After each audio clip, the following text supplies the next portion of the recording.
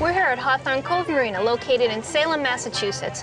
Today they're hosting the 23rd annual Antique and Classic Boat Festival. The festival features vessels that have been restored by their owners, like this one, restored by Larry Russo of Russo Marine. Hey Larry, how are you? Welcome, Tina. How are you? Great, thanks. Good.